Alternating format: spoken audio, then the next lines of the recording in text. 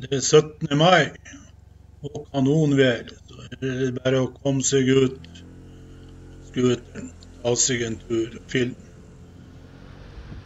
Jeg for nå først gjennom byen en tur, og så en tur gjennom Selfors. Og så tilbake en tur, liten tur gjennom byen og hjem.